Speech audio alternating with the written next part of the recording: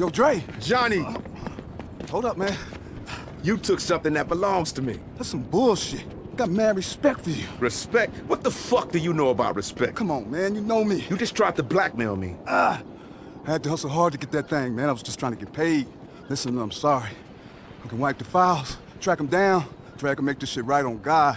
You just tried to kill me. But you know what? Let's forget about that for a minute. The tracks in my phone, that shit leaked, my nigga. The shit is out there.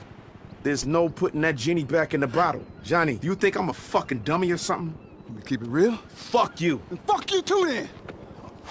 Watch your fucking mouth. Take your ass back to the golf course, motherfucker. This the streets. Way out your element, man.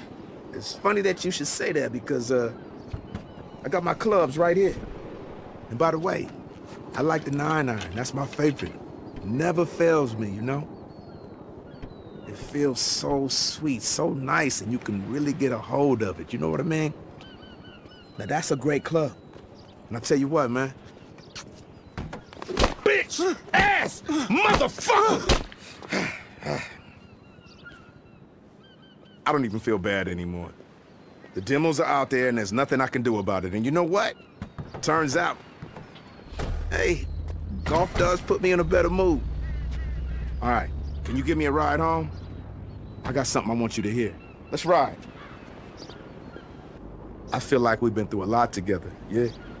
But this shit, this shit right here, it's put a lot of stuff in perspective for me. Jimmy was right. I've got to stop holding on too tight. I've got to start putting some of these demos out that I've been working on for so many years. You have no idea how much shit I've got. But you want to hear something? Okay. This is a world premiere right here, right now.